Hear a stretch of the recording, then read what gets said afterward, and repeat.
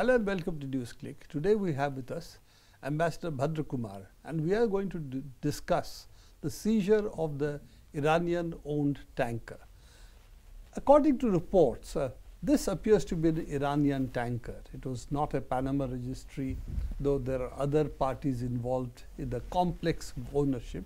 Seems to be Iranian tanker and a and Iranian oil, though whether it's fuel oil or it's light oil is still under discussion. How do you see the seizure? Because A, it is not that UK, which has seized the ship, they have sanctions against export from Iran. In fact, they are explicitly on record saying that they would not like to be a party to the American sanctions. So, how, what explains this seizure and the talk about it is that this is EU, EU sanctions on Syria, but EU does not have sanctions for Syria to receive oil. So, how do you look at this? Yeah, you know, this is uh, in terms of uh, international law, uh, this is uh, and this is not justifiable at all. Hmm? It's an act of piracy. Uh, I think you know it is. Uh, it is basically what is taking place is that like you know Iranian Foreign Minister Zarif mentioned once that there is a B team working. You know, uh, B team means Bolton, Bibi, that is Netanyahu, and the two bin bin uh, bin Salman, bin, bin Salman and bin Zayed. You know, so he called it the B team. Uh, I think this is all uh, like uh, now uh, another story had come on the drone thing, drone uh, thing. There was another spy plane going along. So now the picture that is emerging is that it was to simply to uh, you know when a thing like this comes, the radar stations become alive. So they wanted to know where the radar stations were on the Iranian coast. You know, so they all got lighted up, as they say in the technical jargon. So, uh, this immediately the other spy plane monitored. So, they know the locations of the radar stations on the coast, you know. So, a lot of things, you know, they are setting up a lot of uh, situations to see to what extent Iran will react. And I think this is, um, this is not exactly attributable to Trump. Uh, it, this is more to be attributed to the B team kind of thing. Like, you know, in Britain, for example, the British intelligence uh, has got its own game to play uh, on this Iran question that is in league with the uh, sections of the American security establishment and so on um, with Israel and all that. Uh, I don't know whether we can look for uh, a uh, justification in terms of international law. Uh, you correctly said that there is no sanctions against uh, Syria getting Syria oil, receiving oil, receiving oil, and uh, there are no uh, British sanctions against Iran. There are no UN oil. sanctions against Iran. It's only that Trump has some sanctions against Iran. And there again, Trump has only told third countries not to pick up oil from Iran but uh, Trump has not uh, cared to stop. So, I think in this particular one you see what has happened is if Iranian oil is uh, stopped at the high seas, what will be the Iranian reaction? Because there are uh, here you know these are moving parts today and uh, when if uh, push comes to shove and if there's a when the crunch time comes the Iranian behavioral pattern, this has not been tested before because this sort of a, a standoff. Uh, what will Iran do? It has potential to hit back. Will it? Or will it lose nerve? You know, this is the kind of thing I think that is going on. And I have a feeling that this is more to do with uh, intelligence agencies. And yeah, but you know, uh, Mr. Bhadrakumar, irrespective of who within the government does mm, this, mm the reality is that the governments are responsible. Governments you cannot, we cannot yeah. say yeah. that the security establishment, the commando, uh, basically the soldiers from the British uh, army participate in a seizure of a vehicle, mm -hmm. of a tanker. And that is, the, we are going to discuss yeah. whether it was done with Mr. Hunt's. Uh, you know, Prabir, you know, I said this because um, uh, the important point is therefore, let me conclude, is the Iranian reaction to it. the reaction hasn't come from the political level. The reaction has come from the commander of the IRGC. And he has said that Iran will retaliate against a British tanker. That's right. That is, that is what it has. So, you know, they, they are trying to see to what extent Iran can be pushed. Because, you know, this waterway is actually Iranian water and they have jurisdiction over the water. So, uh, if they are pushed, will they actually carry out this threat? talk to the Straits of Hormuz. Strait of Hormuz, you know. So, yeah. this is a, so I think this is what is taking place is a kind of a shadow play. You know, I, ultimately, I, I, it is Britain which has done it. You can't say British intelligence did it. You know, yeah. But the point is, if the British government felt that the spy agencies had done something which wasn't really fully justified, this has come to the court in Gibraltar because mm -hmm. they mm-hmm. have to, within three days of seizure, mm -hmm. they have to give documents. The Gibraltar court now has given them another 14 days. Mm -hmm. So legally, that UK has a way to gracefully withdraw from it, saying we have checked everything and yes, it was not violating the EU sanctions mm -hmm. and we mm-hmm. let them go. So they are not doing that. And the fact they are not doing that would seem to indicate maybe there is at the moment a lame duck government in UK because the next uh, prime minister has yet to be decided. Or it is a tacit support to what the Americans are asking and uh, therefore, shall we say, a step further thinking that Iran can be pushed or if, if Iran cannot be, if Iran retaliates, then that becomes a cause for war, casus belli or whatever it's called in legal terms. You see, uh, seventh is coming.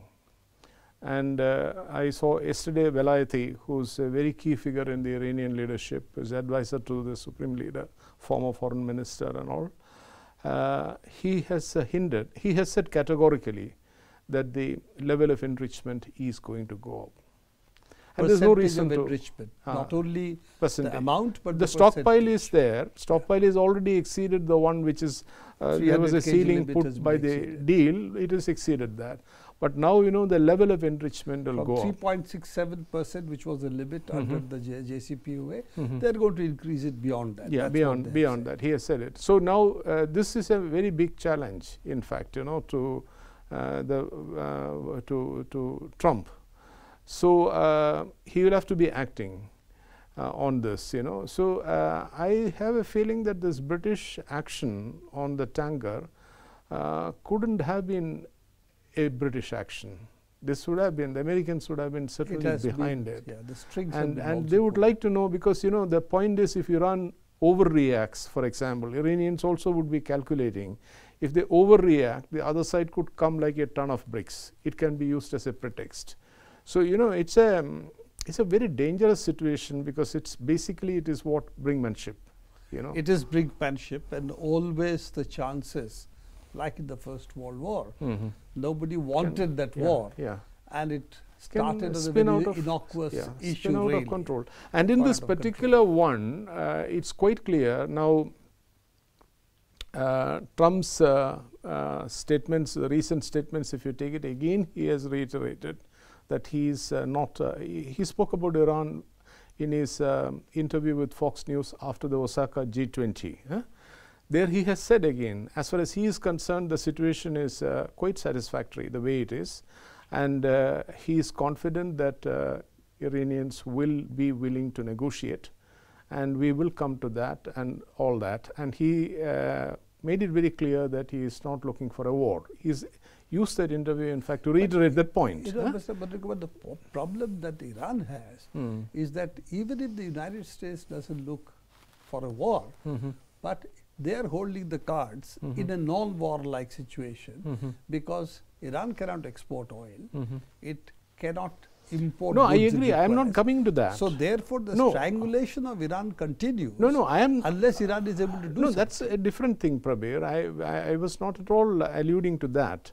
What I'm trying to say is that you know that therefore uh, I am not very sure even whether you know this is with uh, Trump's uh, knowledge. This project, this this, this Gibraltar incident. project uh, because there are a number of people, uh, hardliners in the American camp and uh, I'm sure some of them are league in, uh, they, they, have their own connections with Britain and so on. And Britain has played this sort of dirty role uh, historically, you know, for the Americans, which is why they are called poodles.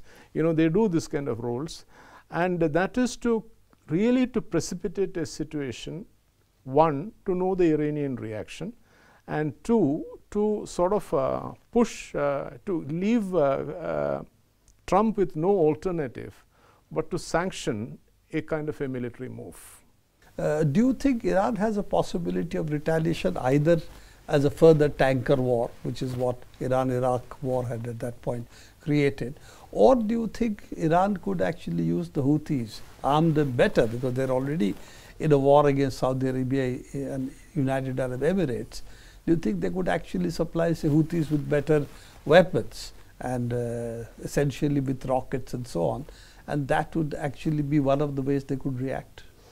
I think the Iranians in this particular one, my own uh, judgment is, you know, that the Iranians in this particular case will not want it to be escalating uh, to one of, uh, you know, regional dimension or anything like this. Britain has done something illegal, uh, which has no justification, and Britain will pay the price for it. And uh, then, you know, they, they, they have a standing that this is not a NATO problem. This is not Germany's problem, this is not Italy's problem, this is Britain's problem. And uh, uh, Britain and Iran have dealt with each other for centuries. And uh, the uh, Iranians know how to tackle the British, you know. And at a certain point, they know very well that the British will climb down, you know, when they find that they are all alone uh, in, in this business. Because you see, they are also overstretched in the Gulf and uh, you don't have to go for Houthis or anything. They just next across the Straits of Hormuz. The British are there. So anything can happen. That is why I said that they're trying to see whether they will hit a British warship, for example. The statement from the Iranian side is this, that, you know, that they will be retaliation. retaliation on a British tanker. So uh, it's marked. And I think that is going to be the reaction. They will not go, go for a proxy war on this. This is done to Iran and Iran will do something to the party which did this to Iran. The proxy thing all comes if there is an attack on Iran. If there is an attack on Iran, Iran has stated that uh, the side which starts a war will not be able to end that war. But coming out to the scenario, you would agree that the tanker seizure has actually increased the tension even more. So, we do not see any countervailing, uh, shall we say, things happening on the ground. I am not talking about what people may be saying. Uh, as you said, President Trump indicated in Fox News that uh, he does not really want war. But nevertheless, situation on the ground, any anything which yeah, looks you see, at uh, what is uh, apparent today is this that attention has now, we began discussing this aspect. This has become the centerpiece of the discussion, the tanker thing. But this is not the centerpiece. We know well that is what Iran is going to do on the 7th, because effectively it will be walking out of the nuclear deal. Correct. And then what is it that Trump can do? You see, and Iran's position is that under the deal, there is a provision which says that if all parties do not observe this, the, their, their commitments and they fulfill their commitments, then Iran is free to exercise uh, its options. So, what Iran does is perfectly justifiable.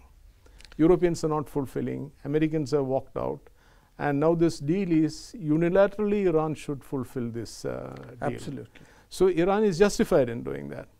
And then secondly, Iran also says that the moment those other parties start fulfilling their obligations, they will reverse this. They will revert and the status quo ante would be restored. In fact, they have said they've given you 60 weeks yeah. to show us. 60 days. In fact, it started, I think, May last yeah, year. Yeah, it'll be over now. Out. May last year, Trump and Trump pulled out. Hmm. We have given you so many, yeah, more than a year to keep your side of the bargain we put you on under notice that if you don't do it in X number of days, 60 days, then we will be pulling out of the tre- we will be pulling out of those provisions of the treaty which we had written in the treaty itself. We had said Iran's position is if nuclear related sanctions takes place, then we will not observe these limits. So this was their, in fact, that is a yeah, treaty so you know what I was saying is that you know that uh, this uh, operation in uh, Gibraltar can as well be seen this way that it is a big distraction. The you now the talk is about a particular incident which has taken place, not the bigger issue. not the bigger issue. Because on the bigger issue, uh, I was actually waiting to see what is going to be the American reaction to it or the European reaction to it. Now, if you remember, uh, Angela Merkel, um, uh, Macron, and uh, Theresa May, they had uh, written jointly a letter to the Iranians warning them not to do this, that if they do this, there will be serious consequences they have said that they are going to do it, and I have no doubt in my mind they are going to do it day after tomorrow. Now, if they have done it, then what do they do? Because they have no local stand in this. You know, the Europeans are observing the US sanctions. Absolutely. This is the whole issue that the so-called Instex transaction Mhm. mechanism, Mhm. which they have created bypassing SWIFT, Mhm. has not transacted uh, anything. So effectively, they are not buying oil Yes, and they are not selling goods to- Selling with goods. Iran. So That's- this this is the issue exactly. that so, they they want a one-sided or a Mm. unilateral observance of the JCPOA by Iran, yeah. while they do not observe. They do not observe. And I think also that um, uh, Iran is going, um, Trump has used the word Iran is playing with fire. You know, that is what he has said exactly, what Iran is going to do day after tomorrow. If Iran is doing, playing with fire day after tomorrow, then what is Trump going to do? I don't think there is uh, anybody is going to buy it that this is a justification for him to order an attack on Iran.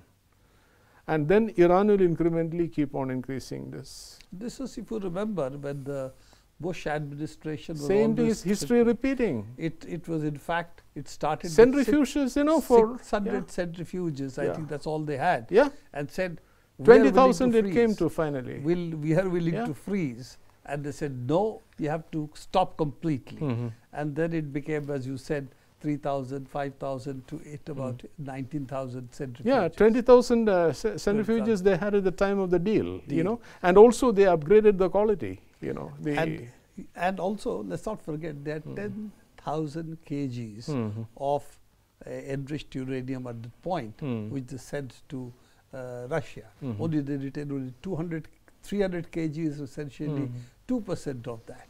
You see, the situation more I see it now. The thing is, um, Trump is, you know, like we began saying that, uh, you know, Trump said, you know, that he can wait and all that. But I have a feeling that you know, he's going to lose face in this, because uh, um, uh, if Iran doesn't negotiate, he is unable to force them to negotiate. And then on the other hand, uh, as you said very rightly, he is um, putting a lot of uh, uh, pressure on the Iranians. Their economy is in trouble and uh, they feel the pain. So they will keep counter escalatory measures. They have no other. They have no other thing. And now, again, that puts pressure on uh, Trump because he is going to face an election. And uh, when this counter escalatory pressures, now, you know, for instance, this Fox News interview I said, there, you know, he has said that uh, he has disclosed that without Americans never openly said this, that uh, from a troop level of 16,000 in Afghanistan, he said, I have brought it down already to 9,000. And he said, you know, at one sentence he says that I just want to get out. I'm through with this war. You know, this is the kind of uh, mode in which he is. So, in the upcoming campaign time, if this flares up on some front, he will be in trouble. So, I have a feeling that uh, he is also really worried. I don't know, I- the Iran that I knew is an Iran which is very pragmatic. And um, uh, they should see that you know from the from the way that he has handled North Korea, the way that he is pulling out troops from Afghanistan, that uh, this man has certain virtues in the sense that he doesn't want a war. So why not strike a deal? I don't know what is but going you know on. The problem that you've already raised, Mm. Trump, after having walked out from the deal, Hmm. what is the deal?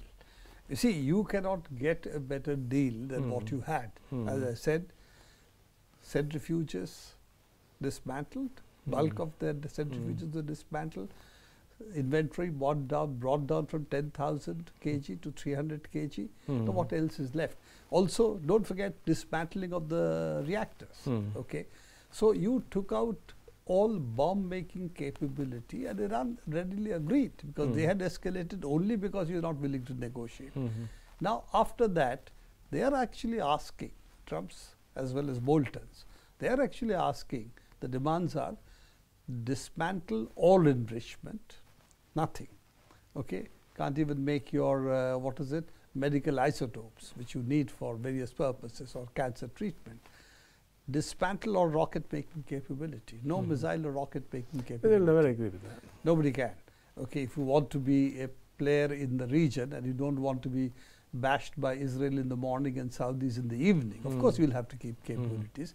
And their capabilities, their en- entire air force and everything is Mhm. far weaker than Saudis or uh, even the. UAE in terms of the defense budget, the missile strength, the aircraft and so on. And then the third is you must withdraw all your support to Syria, to Hezbollah and all of that. Now that is not a demand for negotiation, that's a demand for surrender. Absolutely. And no Iran, no Iranian That's the whole point. What you said is the whole point. That's why the, it's a jam, you know, in the in, in the sense that you know, um, this man is uh, Trump has blundered into this situation, in my Absolutely. opinion. So that's It's why I keep uh, on saying that, you know, irrespective of the Hmm. wishes of the Hmm. individuals, Hmm. but the actions are what matters. Hmm. And in this case, he took a hammer, Hmm. sledgehammer, to the deal, uh, which, in my opinion, Iran cannot go beyond. Hmm. That they had extracted the maximum. The United States has Yes. extracted the maximum. clearly, clearly. And Yeah. therefore, to ask for them to give up Hmm. rockets, Hmm. missiles, Hmm. is basically to ask it to surrender because there Hmm. no Yes, even yes, a bar, said it, you there is no. NPT, there is nothing.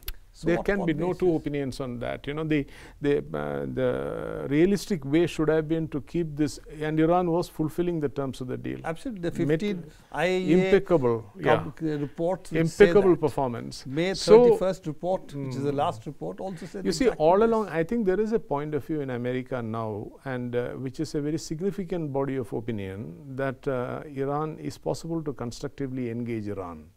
You know, this uh, you see in uh, the in the in our understanding of the Iranian Revolution, credit goes to Indira Gandhi. Right from that time, you know, that we understood that you know that they are open to constructive engagement. You know, know all these things. You know, the rhetoric is very very uh, bad on Kashmir. Uh, when I was in the uh, division in the MEA in the early 90s, you know, when it was a very bad situation there. So once we did an, an analysis to know whether there is any Iranian role there, we came up with a finding zero. You know, this is the Iranian and Chechnya, if you look at it, Iran had no role there.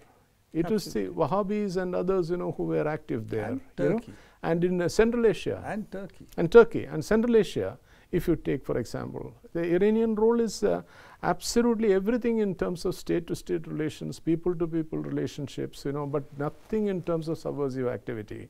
You know, So this you have a Shia population in India; they don't mess around. You unlike what you can say about the Saudis. Yeah. So you see, the thing is, uh, it was possible to constructively engage the Iranians. you That know. is when the United States has essentially, uh, shall we say, has in its thinking that Iran is the main enemy after destruction of Iraq, partial destruction of Libya, I mean of uh, Syria, and of course the destruction of Libya.